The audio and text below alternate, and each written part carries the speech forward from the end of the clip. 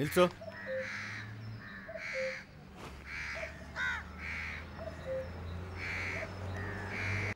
ನೀನು ಕೆಲಸ ಮಾಡೋದು ಬಿಟ್ಟು ಆರಾಮ್ ಮಾಡ್ತಿದ್ಯಾ?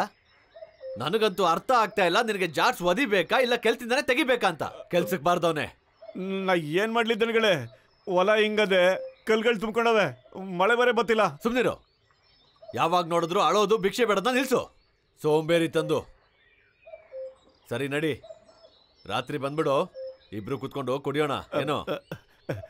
ಆದ್ರೆ ಬುದ್ಧಿ ನಾನು ಅದನ್ನೆಲ್ಲ ಕುಡಿಯಕ್ಕಿಲ್ಲ ನಿನ್ ಈ ಮಾತಿಂದಾನೆ ಅರ್ಥ ಆಗುತ್ತೆ ನಿನ್ ಯಾವ ಕೆಲ್ಸಕ್ಕೂ ಲಾಯಕ್ಕಿಲ್ಲ ಅಂತ.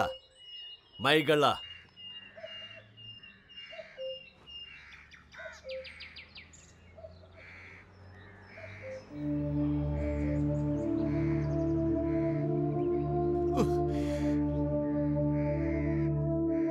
ಈ ಒಯ್ಯಿನ ಕಾಟ ಯಾವಾಗ ತಪ್ತದ ನಂಗೆ.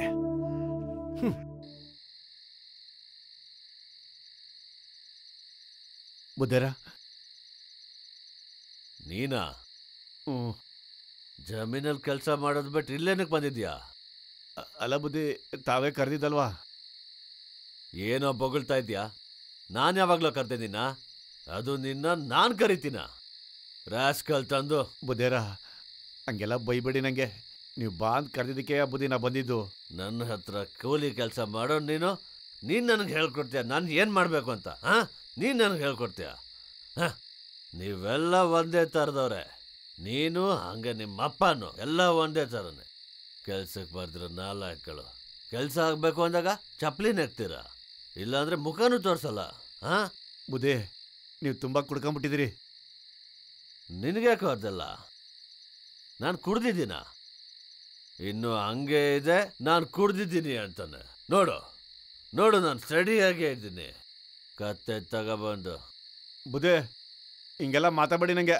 ಒಸಿ ಬಾಯಿನ ಹಿಡ್ದಾಗ ಇಟ್ಕೊಳ್ಳಿ. ನನ್ನ ಬಾಯಿ ಹಿಡ್ತಿದ್ದಲ್ಲಿ ಇಟ್ಕೋಬೇಕಾ? ನಾಯಿ ನೀನು ರಾಸ್ಕಲ್ ಈಡಿಯಟ್ ನೀನು ನಮಕ್ ಆರಾಮ್ ನೀನು. ಹೇಳು ಏನ್ ಮಾಡ್ತೀಯ? ಹೇಳು. ಬುದೇ ಬುದ್ಧಿ ನಮ್ಮ ಮೇಲೆ ಕೈ ಮಾಡ್ಬೇಡಿ. ಏನೋ ಮಾಡ್ತೀಯ? ಹೇಳು. ಬುದೇ ಬೇಡ. ನೋಡಿ ಸುಮ್ಕಿರ್ಲ ನಾನು ಸಿಟ್ಪತ್ತ ನಂಗೆ. ಏನ್ ಮಾಡ್ತೀಯ? ಸಮಯ ಹೇಳು. ಬುದೇ ಬೇಡ. ಮಗನೇ. ನಿನಗೆ ಇಷ್ಟು ಧೈರ್ಯನಾ? ರಾಸ್ಕಲ್ ನನ್ನ ಮೇಲೆ ಕೈ ಬುದ್ಧಿ ನನ್ನ ನನ್ ಮೇಲೆ ಕೈ ಬುದ್ಧಿರ ಬೇಡ ನೋಡಿ. ಧೈರ್ಯ ನಿನಗೆ ಬೇಡ ನೋಡಿ. ಹ? ಬೇಡ ಕೈ ಮಾಡ್ತೀಯ? ನಾ? ಬುದ್ಧಿರ ಹ? ಬುದ್ಧಿರ ಹೋಗಿ. ಏ, ಬುದ್ಧಿರ ಬೇಡ ನನ್ನ ಮಾತು ಕೇಳಿ. ಬಿಡಲ್ಲ ಇವತ್ತು ನಿಮ್ಮನ್ನ. ಬಿಡಲ್ಲ ಬಿಡಲ್ಲ. ಬಿಡಲ್ಲ. ಬೇಡ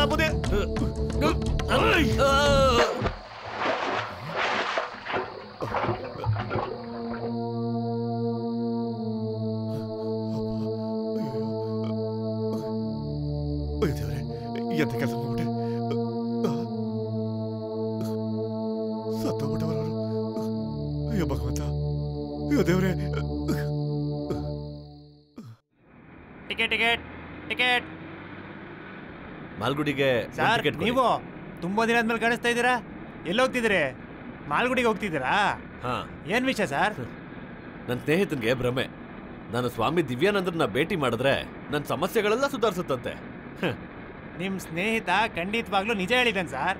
ಸ್ವಾಮಿ ದಿವ್ಯಾನಂದ್ರು ಮಹಾತ್ಮರು. ನಾನು ನನ್ನ ಹೆಂಡತಿ ದಿನ ಹಾವು ಮುಂಗ್ಸಿ ತರ ಜಗಳ ಆಡ್ತಿದ್ವು.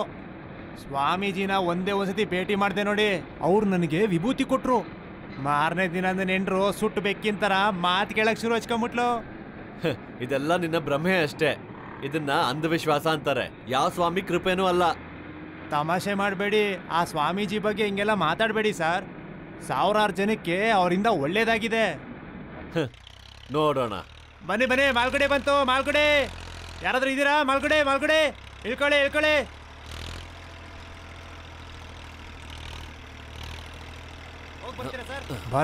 ಬಾ. ಹ್ಮ್ ರೈಟ್ ರೈಟ್ ಬೇಗ ಬೇಗ. ರೈಟ್ ರೈಟ್ ಒಳ್ಳೇದಾಯ್ತು ನೀನು ಬಂದಿದ್ದು. ಈಗ ನಿನಗೆ ಗೊತ್ತಾಗುತ್ತೆ. ಸ್ವಾಮಿ ದಿವ್ಯಾನಂದಜಿಯವರ ಮಹಿಮೆ ಏನು ಅಂತ ಮೂರು ಬಾರಿ ವಿಶ್ವಯಾತ್ರೆ ಮಾಡಿದ್ದಾರೆ ಅವರು ಅದು ಕೂಡ ವಿಮಾನದಲ್ಲಿ. ಆದ್ರೂ ಅವರು ತನ್ನ ಹೆಂಡತಿ ಜೊತೆ ಒಂದು ಚಿಕ್ಕ ಗುಡಿಸ್ಲಲ್ಲೇ ವಾಸವಾಗಿದ್ದಾರೆ. ತುಂಬ ಮಹಾನ್ ವ್ಯಕ್ತಿ ಅವರು. ಹೆಂಡತಿ? ಹಾ. ಅಷ್ಟೊಂದು ಮಹಾತ್ಮರೇ ಆಗಿದ್ರೆ ಮದುವೆ ಯಾಕೆ ಮಾಡ್ಕೊಂಡ್ರು? ಆ ಥರ ಎಲ್ಲೂ ಬರ್ತಿಲ್ಲ ಸ್ವಾಮಿ ಆದವರು ಮದುವೆ ಆಗಬಾರ್ದು ಅಂತ.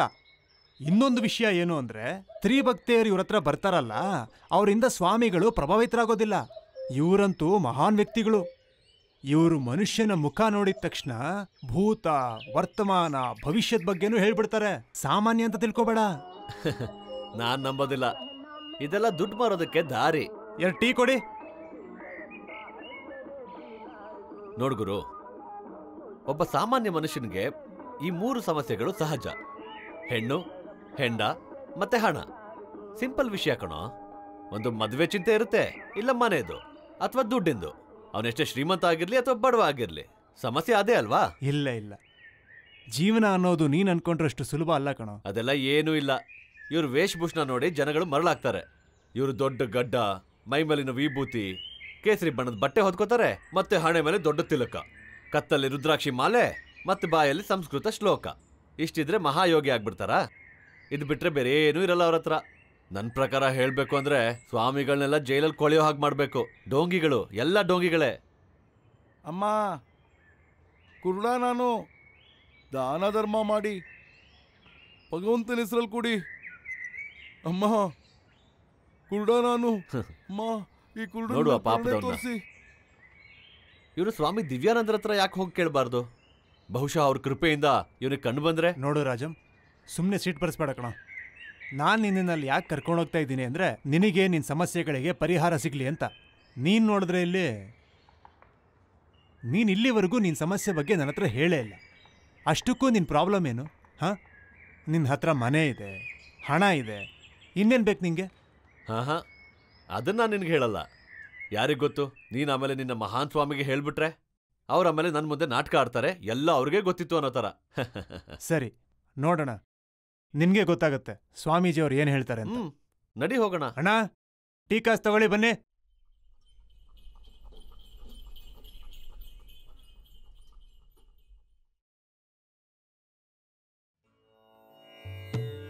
ಭಗವಂತ ನಿನಗೆ ಸುಖವಾಗಿಡ್ಲಿ ಓಂ ನಮಃ ಶಿವಾಯ.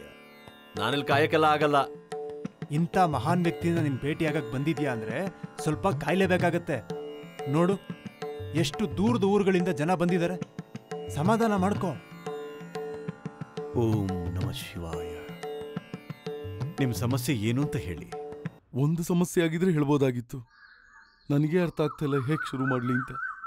ಸ್ವಾಮೀಜಿ ಒಂದು ಕಡೆ ಕೆಲಸ ಮಾಡ್ತಾ ಇದ್ದೀನಿ ನಾನು. ಅಲ್ಲಿ ಪ್ರತಿಯೊಬ್ಬರು ಲಂಚ ಕೇಳೋರೆ. ಆದರೆ ನಾನು ಹಾಗಲ್ಲ. ಕಳೆದ ಇಪ್ಪತ್ತು ವರ್ಷಗಳಿಂದ ಅಲ್ಲಿ ಕೆಲಸ ಮಾಡ್ತಾ ಇದ್ದೀನಿ. ಇದುವರೆಗೂ ಒಂದು ರೂಪಾಯಿ ಮುಟ್ಟಿಲ್ಲ ನಾನು. ನನಗೆ ಪ್ರಮೋಷನ್ ಕೂಡ ಸಿಕ್ಕಿಲ್ಲ, ಒಂದು ರೂಪಾಯಿ ಸಂಬಳನೂ ಜಾಸ್ತಿ ಆಗಿಲ್ಲ. ನನಗೆ ಅರ್ಥ ಆಗ್ತಾ ಇಲ್ಲ ಸ್ವಾಮೀಜಿ. ತಾವಿದಕ್ಕೇನಾದರೂ. ಓಂ ನಮ ಶಿವಾಯ. ಇದರಲ್ಲಿ ನಿಮ್ಮದೇನು ದೋಷ ಇಲ್ಲ? ಇವೆಲ್ಲ ಹಿಂದಿನ ಜನ್ಮದ ಕರ್ಮಫಲವಷ್ಟೇ. ವೇದದಲ್ಲಿ ತಿಳಿಸಿದ ಹಾಗೆ, ಒಂದು ವೇಳೆ ನೀವು ಈ ಜನ್ಮದಲ್ಲಿ ಪಾಪ ಮಾಡದೆ ಹೋದರೂ ಕೂಡ, ಹಿಂದಿನ ಜನ್ಮದಲ್ಲಿ ಖಂಡಿತ ಪಾಪ ಮಾಡಿರ್ತೀರ. ಆದರೆ ನೀವು ಹೇಳ್ತಿದ್ದೀರಾ, ನೀವೇನು ಪಾಪ ಮಾಡಿಲ್ಲ ಅಂತ?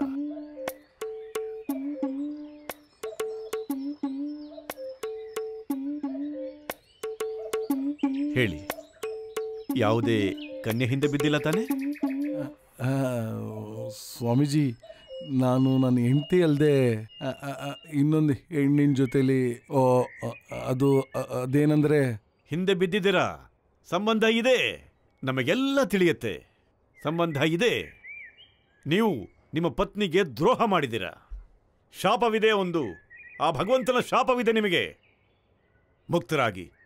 ಮುಕ್ತರಾಗಿ ಆ ಅಪವಿತ್ರ ಬಂಧನದಿಂದ ನಿಮಗೆ ಕಲ್ಯಾಣವಾಗುತ್ತೆ. ಧನ್ಯವಾದ ಸ್ವಾಮೀಜಿ. ತಾವು ಮಹಾತ್ಮರು. ಓಂ ನಮಃ ಶಿವಾಯ. ನಿಜ ಹೇಳಬೇಕು ಅಂದ್ರೆ ನೀವು ನನ್ನ ಕಣ್ಣು ತೆರೆಸ್ಬಿಟ್ರಿ. ಓಂ ನಮಃ ಶಿವಾಯ. ಓಂ ನಮಃ ಶಿವಾಯ.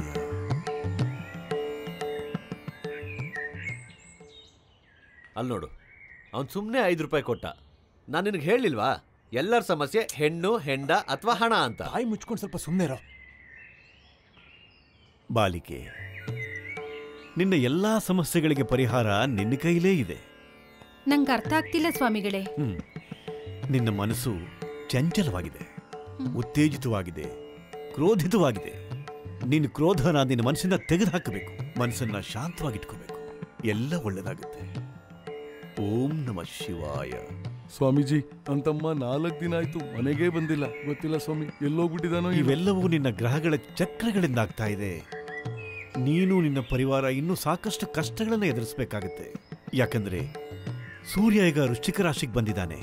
ಹೀಗೆ ಏಳು ವರ್ಷಗಳಿಗೆ ಒಮ್ಮೆ ಆಗುತ್ತೆ. ಈ ಸಮಯ ನಿನ್ನ ಸಹೋದರ ನಿನ್ನಿಂದ ದೂರ ಆಗ್ತಾನೆ. ಏನು ಪರವಾಗಿಲ್ಲ. ಮೂರು ತಿಂಗಳ ನಂತರ ನೀನೇ ಸ್ವತಃ ಬಂದು ಹೇಳ್ತೀಯ ನಿನ್ನ ಸಹೋದರ ವಾಪಸ್ ಬಂದ ಅಂತ? ಓಂ ನಮ ಶಿವಾಯ. ತುಂಬಾ ಸಂತೋಷ ಸ್ವಾಮಿ. ಓಂ ನಮ ಶಿವಾಯ. ಓಂ ನಮಃ ಶಿವಾಯ. ಸ್ವಾಮೀಜಿ ನಮಸ್ಕಾರ. ನನಗೆ ಧ್ಯಾನಕ್ಕೆ ಸಮಯವಾಗ್ತಾ ಇದೆ. ನಾಳೆ ಬನ್ನಿ. ನನಗೆ ಗೊತ್ತಿತ್ತು ಹಿಂಗೆ ಏನಾದರೂ ಹೇಳ್ತಾರೆ ಅಂತ. ಸುಮ್ಮನಿರು ಸ್ವಾಮೀಜಿ ನನ್ನ ಸ್ನೇಹಿತನ ತುಂಬ ದೂರ ದೂರದಿಂದ ಕರೆಸಿದ್ದೀನಿ. ಬಹಳ ತೊಂದರೆಲಿದ್ದಾನೆ. ಅವನ ಮನಸ್ಸಿಗೆ ನೆಮ್ಮದಿ ಇಲ್ಲ. ನಿದ್ದೆ ಬರಲ್ಲ. ನೀವೊಬ್ಬರೇ ಅವನಿಗೆ ಸಹಾಯ ಮಾಡಬೇಕು. ನಾನು ಹೇಳಿಲ್ವಾ? ನಾಳೆ ಬನ್ನಿ ಅಂತ?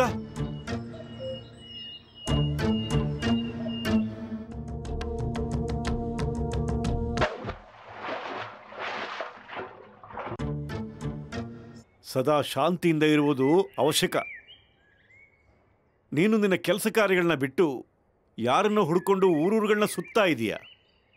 ಹೇಳು, ನಾನು ಹೇಳಿದ ಸತ್ಯನೋ ಅಲ್ವೋ? ಹೋಗು ಮಗು, ಈಗ ಹೋಗಿ ವಿಶ್ರಾಂತಿ ಮಾಡು. ನಾಳೆ ನಿನ್ನನ್ನು ಭೇಟಿ ಮಾಡ್ತೀನಿ. ಎಲ್ಲ ಸರಿ ಹೋಗುತ್ತೆ. ಎಲ್ಲ ಸರಿ ಹೋಗುತ್ತೆ. ಓಂ ನಮಃ ಶಿವಾಯ. ಓಂ ನಮಃ ಶಿವಾಯ. ಹೇಗೆ ನಡೀತಾ ಇದೆ ನಿನ್ನ ವ್ಯವಹಾರ? ಎಲ್ಲ ಸರಿ ಇದೆ ತಾನೆ? ಹ್ಮ್. ಸ್ವಾಮೀಜಿ ನಿಮ್ಮ ಭಕ್ತರು ತುಂಬ ಜನ ಇದ್ದಾರೆ ಅದರಲ್ಲಿ ಕಮ್ಮಿ ಜನ ನಾನು ಕಡಲೆಕಾಯಿ ತಗೊಂಡು ತಿಂತಾರೆ. ನೀವೇ ಹೇಳಿ ನಾನು ಹೆಂಗೆ ಜೀವನ ಮಾಡಲಿ. ಹೌದಾ? ಇದ ವಿಷಯ. ನೋಡು, ನೀನು ಬಹಳ ಜಾಗೃತೆಯಿಂದಿರಬೇಕು ಖರೀದಿ ಮಾಡೋಕ್ಕೆ ಬರೋರನ್ನ ಅರ್ಥ ಮಾಡ್ಕೋಬೇಕು. ಬರೀ, ಬಿಸಿ ಬಿಸಿ ಕಡಲೆಕಾಯಿ ತಗೊಳ್ಳಿ, ಬಿಸಿ ಬಿಸಿ ಕಡಲೆಕಾಯಿ ತಗೊಳ್ಳಿ ಅಂತ ಹೇಳಿದ್ರೆ ಏನು ಪ್ರಯೋಜನ ಇಲ್ಲ. ನೀನು ಸ್ವಲ್ಪ ಬೇರೆ ರೀತಿಯಲ್ಲೇ ಹೇಳಬೇಕು. ಅಂದರೆ ರಾಜರಿಗೆ ಇಷ್ಟವಾಗಿರೋ ಕಡಲಕಾಯಿ ತಗೊಳ್ಳಿ ಮಹಾರಾಜರಿಗೆ ಇಷ್ಟವಾಗಿರೋ ಕಡಲಕಾಯಿ ತಗೊಳ್ಳಿ ಅಂತ ಅರ್ಥ ಆಯ್ತಾ? ಸ್ವಾಮೀಜಿ ನೀವು ತುಂಬಾ ಬುದ್ಧಿವಂತರು. ನಾನು ನಿಮ್ಮ ಶಿಷ್ಯನಾಗ್ಬಿಡ್ತೀನಿ ಸ್ವಾಮೀಜಿ.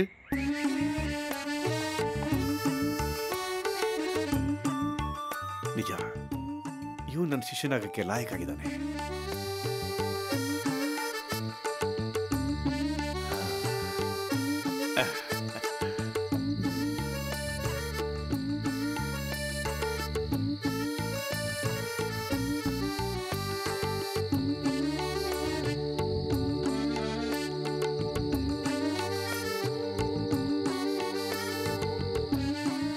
ಸ್ವಾಮೀಜಿ ಇದು ನಾನಾ ಸ್ವಾಮೀಜಿ ನೀವು ಸಿನಿಮಾದವ್ರಿಗಿಂತ ಚೆನ್ನಾಗಿ ಮೇಕಪ್ ಮಾಡ್ತೀರಾ? ನೀವು ಕಲಾವಿದ್ರು ಸ್ವಾಮಿ ಕಲಾವಿದ್ರು. ಸುಮ್ಮನೆ ಸುಮ್ಮನೆ ಇರು. ಈಗ ನನ್ನ ಮಾತನ್ನ ಗಮನ ಇಟ್ಟು ಕೇಳು. ನೀನು ನಿನ್ನ ಧ್ವನಿನ ಬದಲಾಯಿಸಿ ಮಾತಾಡಬೇಕಾಗತ್ತೆ. ಅಂದ್ರೆ? ಓಂ ನಮಃ ಶಿವಾಯ. ಹೇಳು ನಿನ್ನ ಸಮಸ್ಯೆ ಏನು ಅಂತ. ಧ್ವನಿಯಲ್ಲಿ ದಮ್ ಇರಬೇಕು ದಮ್. ಆವಾಗ ಜನಗಳು ನಿನ್ನ ಮಾತನ್ನ ಕೇಳ್ತಾರೆ. ನಮಗೆ ನಿಮ್ಮ ಸಮಸ್ಯೆ ಅರ್ಥವಾಗಿದೆ. ಇದಂಗಿದೆ ಸ್ವಾಮೀಜಿ ಸರಿ ಇದೆಯಾ? ಹಾ ಸರಿ ಸರಿ. ಹಾ. ಈಗ ನಡಿ. ಸಮಯ ಬಂದಾಗ ನಾನು ನಿನ್ನ ಕರ್ಸ್ಕೋತೀನಿ. ನಡಿ. ಕಳ್ಳೆಕಾಯಿ ಕಳ್ಳೆಕಾಯಿ. ಹ್ಮ್ ಒಳ್ಳೆ ಮಿಕಾನೇ ಸಿಕ್ಕಾಕೊಂಬಿಟ್ಟ. ಸ್ವಾಮೀಜಿ ನನ್ನ ಹೆಂಡತಿ ನನ್ನ ಮಕ್ಕಳು ನನ್ನ ಬಿಟ್ಟು ಹೋಗ್ಬಿಟ್ಟಿದ್ದಾರೆ. ಅವ್ರು ಎಲ್ಲಿದ್ದಾರೆ ಅಂತನೂ ಗೊತ್ತಿಲ್ಲ. ನೀವೇ ಹೇಳಿ ನಾನೇನು ಮಾಡಲಿ? ಹ್ಞೂ ಒಂದು ಉಪಾಯವಿದೆ. ನಿನ್ನ ಸಮಸ್ಯೆ ಕೇವಲ ಮಂತ್ರದಿಂದ ಹೋಗುವಂಥದ್ದಲ್ಲ. ನೀನು ಕಠಿಣ ಪರೀಕ್ಷೆಯಿಂದ ಪಾರಾಗಬೇಕು. ಸೂರ್ಯೋದಯದ ಮೊದಲು ನದಿಯಲ್ಲಿ ಸ್ನಾನ ಮಾಡಿಕೊಂಡು ಓಂ ನಮಃ ಶಿವಾಯ ಓಂ ನಮಃ ಶಿವಾಯ ಹೀಗೆ ಏಳು ಸಾರಿ ಜಪ ಮಾಡಬೇಕು. ಪೂರ್ತಿ ಇಪ್ಪತ್ತೊಂದು ದಿವಸಗಳು. ಹೋಗು. ಹಾಗೆ ಮಾಡಿದ ಮೇಲೆ ನಿನ್ನ ಪತ್ನಿ ವಾಪಸ್ ಬರ್ತಾಳೆ. ಧನ್ಯವಾದ ಸ್ವಾಮೀಜಿ. ಓಂ ನಮ ಧನ್ಯವಾದ. ಓಂ ನಮಃ ಶಿವಾಯ. ಬರ್ತೀನಿ ಸ್ವಾಮೀಜಿ. ನೀನು ಚಿಂತೆ ಮಾಡಬೇಡ. ಭಗವಂತ ನಿನಗೆ ಒಳ್ಳೇದು ಮಾಡ್ತಾನೆ. ಓಂ ನಮಃ ಶಿವಾಯ. ಓಂ ನಮಃ ಶಿವಾಯ? ಬನ್ನಿ ಬನ್ನಿ ಸ್ವಾಮಿಗಳೇ. ಯಾವಾಗ ದಯ ಮಾಡಿಸಿದ್ರಿ ಕಾಶಿಯಿಂದ? ಓ, ತಾವು ಮೌನ ವ್ರತದಲ್ಲಿದ್ದೀರಿ. ಕ್ಷಮೆ ಇರಲಿ. ಬನ್ನಿ. ಕೂತ್ಕೊಳ್ಳಿ. ಕೂತ್ಕೊಳ್ಳಿ ಸ್ವಾಮಿಗಳೇ. ಓಂ ನಮಃ ಶಿವಾಯ. ಓಂ ನಮಃ ಶಿವಾಯ. ಓಂ ನಮ ಶಿವಾಯ. ಸ್ವಾಮೀಜಿ ಓಂ. ನಾನು ನನ್ನ ಸ್ನೇಹಿತನ ಕರ್ಕೊಂಬಂದಿದ್ದೀನಿ ಅವನ ಸಮಸ್ಯೆಯನ್ನು ಪರಿಹಾರ ಮಾಡಿ. ಮಗು ಹೇಳು ನಿನ್ನನ್ನು ಯಾವ ಚಿಂತೆ ಕಾಡ್ತಾ ಇದೆ ಅಂತ. ತಾವು ಸ್ವಾಮಿಗಳಲ್ವಾ? ತಾವೇ ಹೇಳಿ ನನ್ನ ಸಮಸ್ಯೆ ಏನು ಅಂತ. ಇಲ್ಲಂತೂ ಎಲ್ಲರೂ ಹೇಳ್ತಿದ್ದಾರೆ ತಾವು. ಜನಗಳ ಮುಖ ನೋಡಿನೇ ಅವ್ರ ಸಮಸ್ಯೆ ಏನು ಅಂತ ಹೇಳ್ತೀರಂತೆ. ಭಗವಂತ ಒಳ್ಳೇದಾಯ್ತು. ಇವನನ್ನ ಕಂಡಿಡಿಲಿಲ್ಲ. ತಾವೇನಾದ್ರೂ ಹೇಳಿದ್ರ? ಇಲ್ಲ ಇಲ್ಲ ಇಲ್ಲ. ಮಗು ನಿನ್ನ ಕಣ್ಣನ್ನು ಮುಚ್ಚಿಕೋ. ಕಣ್ಣು ಮುಚ್ಕೋ ನಾನಿನ್ನ ಭೂತ ಭವಿಷ್ಯ ವರ್ತಮಾನದ ಬಗ್ಗೆ ಹೇಳ್ತೇನೆ. ತಾವು ನನ್ನ ಭೂತ ಮತ್ತೆ ವರ್ತಮಾನದ ಬಗ್ಗೆ ಮಾತ್ರ ಹೇಳಿ. ನನ್ನ ಭವಿಷ್ಯ ನಾನೇ ನೋಡ್ಕೋತೀನಿ. ಮಗು ನಿನ್ನ ಹಣೆಯಲ್ಲಿ ಏನು ಬರ್ತಿದ್ಯೋ ಅದನ್ನು ನಾನು ಹೇಳಿಬಿಟ್ರೆ ನೀನು ಅದನ್ನು ಮಾಡಲೇಬೇಕಾಗುತ್ತೆ. ಅದಕ್ಕೆ ನಾನು ಹೇಳ್ತಾ ಇರೋದು. ಮಾಡ್ತೀಯ ತಾನೆ? ಹಾ ಹಾ. ಯಾಕಿಲ್ಲ ಮಾಡ್ತೀನಿ. ನೀನು ಉತ್ತರ ದಿಕ್ಕಿನಿಂದ ಬಂದಿದೀಯ ನಿನ್ನ ಮನಸ್ಸು ಶಾಂತಿಯಾಗಿಲ್ಲ. ನಿನ್ನ ರೇಖೆಗಳೇ ಹೇಳ್ತಾ ಇದೆ ನೀನು ಇಷ್ಟೊತ್ತಿಗಾಗಲೇ ಸತ್ತು ಹೋಗಿರಬೇಕಾಗಿತ್ತು ಅಂತ. ಘೋರ ಆಶ್ಚರ್ಯ ಇವತ್ತು ನೀನು ಜೀವಂತವಾಗಿದೀಯ ನೀನು ಹೇಗೆ ಜೀವಂತವಾಗಿದೀಯ ಈ ಪ್ರಶ್ನೆಗಳಿಗೆ ಉತ್ತರ ಕೇವಲ ಬೃಹಸ್ಪತಿ ನಕ್ಷತ್ರಗಳ ಮಾತ್ರ ಹೇಳಕ್ಕೆ ಸಾಧ್ಯ. ನೀನು ಮೃತ್ಯುವಿನ ಕೂಪದಿಂದ ವಾಪಸ್ ಬಂದಿದೀಯಾ ಅಂತ. ಹೇಳು. ಇದು ನಿಜ ತಾನೇ? ನೀವು ನಿಜನೇ ಹೇಳ್ತಿದ್ದೀರಾ? ನಾವು ಇದನ್ನ ಹೇಳ್ಬಹುದಾ ನಾನು ಯಾಕೆ ಸಾಯ್ಬೇಕಾಗಿತ್ತು ಅಂತ? ಮಗು ಯಾರೋ ನಿನ್ನನ್ನ ಚೆನ್ನಾಗಿ ಥಳಿಸಿ ಬಾವಿಯಲ್ಲಿ ಬಿಸಾಕಿದ್ರು. ನಿಜ ತಾನೆ? ಹಾ ಈಗ ನಿನಗೆ ಋಷಿಮುನಿಗಳ ಶಕ್ತಿ ಬಗ್ಗೆ ನಂಬಿಕೆ ಬಂದಿರೋ ಹಾಗೆ ಕಾಣಿಸುತ್ತೆ. ಈಗ ನೀನೇ ಹೇಳು ಆಮೇಲೆ ಏನಾಯ್ತು ಅಂತ? ಹೌದು ಸ್ವಾಮೀಜಿ. ಜನಗಳು ನಾನು ಕೂಗೋದನ್ನ ಕೇಳಿಸ್ಕೊಂಡು ನನಗೆ ಸಹಾಯ ಮಾಡದೆ ಹೋಗಿದ್ರೆ ನಾನಿವತ್ತು ಖಂಡಿತ ಜೀವಂತವಾಗಿರ್ತಿರ್ಲಿಲ್ಲ. ನನ್ನ ಬಾವಿಯಲ್ಲಿ ತಳೆದಾಗ ಅದೃಷ್ಟವಶಾತ್ ನಾನೊಂದು ಮರದ ಕೊಂಬೆ ಮೇಲೆ ಹೋಗ್ಬಿದ್ದೆ. ಜನ ನಾನು ಕಿರ್ಚೋದು ಕೇಳಿ ಮೇಲೆ ಕೇತಿದ್ರು ನನ್ನ. ಸ್ವಾಮೀಜಿ, ನಾನಂತೂ ಆ ಪಾಪಿನ ಹುಡುಕ್ತಾ ಇದ್ದೀನಿ. ನನ್ನ ಬಾವಿಗೆ ತಳ್ಳದ್ನಲ್ಲ ಅವನ್ನ ಯಾರೋ ನನಗೆ ಬಂದು ಹೇಳಿದ್ರು, ಅವನು ಇದೇ ಊರಲ್ಲಿ ಬಂದಿದ್ದಾನೆ ಅಂತ. ಅವನು ನನಗೆ ಸಿಗ್ತಾನ ಸ್ವಾಮೀಜಿ? ಹಾಂ, ಹಾ. ಅವಶ್ಯಕವಾಗಿ. ಯಾಕಿಲ್ಲ? ಆದರೆ ಈ ಜನ್ಮದಲ್ಲಿ ಸಿಗೋದಿಲ್ಲ. ಮುಂದಿನ ಜನ್ಮದಲ್ಲಿ ಸಿಗಬಹುದು. ಆದರೆ ಯಾಕೆ? ಯಾಕೆ ಅಂದರೆ ಅವನು ಸತ್ತು ಹೋಗಾಗಲೇ ನಾಲ್ಕು ತಿಂಗಳುಗಳಾಗಿವೆ ಧತ್ ರಾಜಂ ನಿನ್ನ ಪ್ರಶ್ನೆಗೆ ನಿಮಗೆ ಉತ್ತರ ಸಿಕ್ಕಿದೆ ಅಲ್ವಾ? ಸ್ವಾಮೀಜಿ ತಮಗೆ ನನ್ನ ಹೆಸರೇ ಗೊತ್ತಾಯಿತು ಸ್ವಾಮೀಜಿ? ಮಗು ನಾವು ಅಂತರ್ಯಾಮಿಗಳು. ನಮ್ಮಿಂದ ಏನು ಮುಚ್ಚಿಡಬಾರದು. ನನ್ನ ಮಾತನ್ನು ನಂಬು. ನೀನು ಮುಂದಿನ ಬಸ್ಸನ್ನು ಹಿಡಿದು ಆದಷ್ಟು ಬೇಗ ನಿಮ್ಮೂರಿಗೆ ನೀನು ವಾಪಸ್ ಹೊರಡು. ನೀನು ಹೀಗೆ ಅಲ್ಲಿ ಇಲ್ಲೆಲ್ಲ ಸುತ್ತಾಡ್ಕೊಂಡಿದ್ರೆ ನಿನ್ನ ಜೀವಕ್ಕೆ ತೊಂದರೆ ಇದೆ. ಇಲ್ಲಿ ಕೇಳು. ನೀನಿನ್ ಮುಂದೆ ದಕ್ಷಿಣಕ್ಕೆ, ಅಂದ್ರೆ ಈ ಹಳ್ಳಿ ಅಕ್ಕಪಕ್ಕ ಸುಳಿದಾಡಬಾರ್ದು. ನೀನು ನಿಮ್ಮ ಹಳ್ಳಿಯಲ್ಲೇ ಇದ್ರೆ ನೂರು ವರ್ಷಗಳು ಬದುಕಿರ್ತೀಯ. ಹೋಗು. ಭಗವಂತ ನಿನಗೆ ಒಳ್ಳೇದು ಮಾಡಲಿ. ಧನ್ಯವಾದ ಸ್ವಾಮೀಜಿ. ಗುರು, ನಂಗೆ ನೀನು ತುಂಬಾ ಉಪಕಾರ ಮಾಡಿದೆ. ನನಗಂತೂ ಗೊತ್ತೇ ಆಗ್ತಿರ್ಲಿಲ್ಲ ಅವ್ನು ಸತ್ತು ಹೋದ ಅಂತ. ತಪ್ಪಿಸ್ಕೊಂಬಿಟ್ಟ ಮಗ. ಕ್ಷಮಿಸಿ ಸ್ವಾಮೀಜಿ ತಾವು ನನಗೆ ಹೇಳ್ಬೋದಾ ಅವ್ನು ಹೇಗೆ ಸತ್ತ ಅಂತ? ಸ್ವಾಭಾವಿಕವಾಗಿ ಸತ್ತಿರಲ್ಲ ಅನ್ಸುತ್ತೆ. ಸ್ವಾಭಾವಿಕ ಮೃತ್ಯು ಖಂಡಿತವಾಗ್ಲೂ ಇಲ್ಲ. ಬಹಳ ನೋವಿನಿಂದ ಪ್ರಾಣ ಬಿಟ್ಟಿದ್ದಾನ ಅವನು. ಒಂದು ಬಸ್ಸಿನ ಕೆಳಗೆ ಸಿಕ್ಕಾಕೊಂಡ್ಬಿಟ್ಟ. ಹಾಗೆ ಸಾಯಕ್ಕೂ ಮುಂಚೆ ಒಬ್ಬನೇ ರಸ್ತೆಯಲ್ಲಿ ನಾಲ್ಕು ಗಂಟೆ ತನಕ ನರಳತಾ ಇದ್ದ. ಯಾರು ಒಬ್ರು ಒಂದು ತೊಟ್ಟು ನೀರು ಕೊಡ್ಲಿಲ್ಲ. ಹೌದಾ? ಹ್ಮ್? ಹಾಗೆ ಸತ್ನಾ? ಇದನ್ ಕೇಳಿ ತೃಪ್ತಿ ಆಯ್ತು ಸ್ವಾಮೀಜಿ. ಅಲ್ಲ ನಾನು ಜ್ಯೋತಿಷ್ಯ ಅಂದ್ರೆ ನಂಬ್ತಾನೆ ಇರ್ಲಿಲ್ಲ. ನನಗಂತೂ ಆಶ್ಚರ್ಯ ಆಗ್ತಿದೆ. ತಾವೆಲ್ಲ ಸರಿಯಾಗಿ ಹೇಳಿದ್ರಿ. ಗುರು ಸ್ವಾಮೀಜಿ ನಿಜವಾಗ್ಲೂ ಮಹಾನ್ರು. ಈ ತರ ಸ್ವಾಮಿಗಳು ನಮ್ಮ ದೇಶದಲ್ಲಿ ಮಾತ್ರ ಇರಕ್ ಸಾಧ್ಯ. ನಾನಂತೂ ಮುಂದಿನ ಬಸ್ ಹಿಡ್ಕೊಂಡು ಊರಿಗೆ ಹೊರಟ್ಬಿಡ್ತೀನಿ. ಹಾ. ಭಗವಂತ ನಿನ್ನ ಕೋರಿಕೆಯನ್ನ ಆಲಿಸ್ತಾ ಮಗು. ನಿನ್ನ ಎಲ್ಲಾ ಕಷ್ಟಗಳು ಇವತ್ತಿಗೆ ನಿವಾರಣೆಯಾಯ್ತು. ಇನ್ನು ಮುಂದೆ ನಿನಗೆ ಯಾವ ತೊಂದರೆಗಳೂ ಇರೋದಿಲ್ಲ. ಹೋಗು. ಆದರೆ ಇಲ್ಲಿ ಕೇಳು. ಮದ್ಯಪಾನವನ್ನ ಯಾವತ್ತೂ ಮಾಡಬೇಡ? ಸ್ವಾಮೀಜಿ ತಮ್ಗಿದು ಗೊತ್ತಾ? ಹ್ಮ್ ತಾವು ಮಹಾತ್ಮರು. ಅದಂತೂ ಅದು ನಾನು ಅವತ್ತೇ ಬಿಟ್ಬಿಟ್ಟಿದ್ದೆ. ಸಾವಿನಿಂದ ಪಾರ ದಿವಸದಿಂದ ಶಬಾಷ್ ಮಗು ಒಳ್ಳೇದಾಗ್ಲಿ. ಓಂ ನಮ ಶಿವಾಯ. ಓಂ ನಮ ಶಿವಾಯ. ಓಂ ನಮ ಶಿವಾಯ. ಇವತ್ತಿಂದ ನಾನು ಯಾವ ಸ್ವಾಮಿನೂ ಅಲ್ಲ ಏನೂ ಅಲ್ಲ. ನನಗೆ ಹೊಸ ಜೀವನ ಸಿಕ್ಬಿಡ್ತು. ಹಾಗೆ ನನಗೆ ಯಾರ ಬಗ್ಗೆನೂ ಹೆದರಿಕೆ ಇಲ್ಲ. ನನ್ನ ಮೇಲಿದ್ದ ಪಾರ ಇಳಿದೋಯ್ತು. ಏನ್ರಿ ಅದು ಭಾರ? ಎಷ್ಟೋ ವರ್ಷಗಳಿಂದ ನನ್ನಿಂದ ಗೊತ್ತಿಲ್ಲದೆ ಏನೋ ತಪ್ಪಾಗೋಗಿತ್ತು. ನಾನು ಹೆದರ್ಕೊಂಡಿದ್ದೆ ನಾನು ಆ ಮನುಷ್ಯನ ಸಾಯಿಸ್ಬಿಟ್ಟಿದ್ದೀನಿ ಅಂತ. ಅದಕ್ಕೆ ನಾನು ಊರು ಬಿಟ್ಟು ಓಡ್ ಬಂದೆ ನಿನಗೆ ಗೊತ್ತಾ? ಇವತ್ತು ಅದೇ ಮನುಷ್ಯ ನಾನು ನೋಡಿದೆ. ಹೇ ಭಗವಂತ ನನಗಂತೂ ಇದನ್ನೆಲ್ಲ ನಂಬೋದಕ್ಕೆ ಆಗ್ತಿಲ್ಲ. ಹೋಗ್ಲಿ ಬಿಡು. ನಾನು ಹೋಗಿ ನಮ್ಮ ಅಪ್ಪ ಅಮ್ಮನ ಇಲ್ಲಿಗೆ ಕರ್ಕೊಂಡು ಬರ್ತೀನಿ.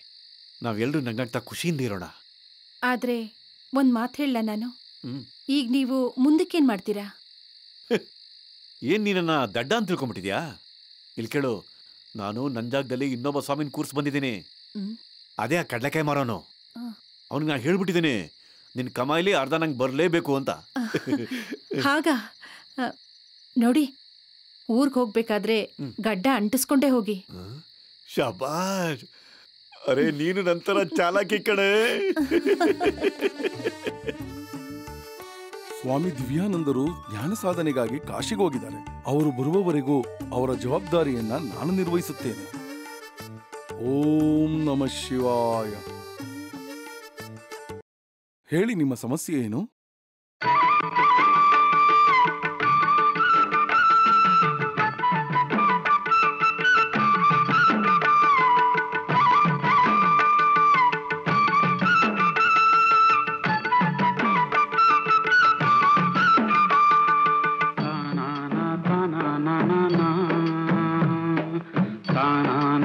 na na na na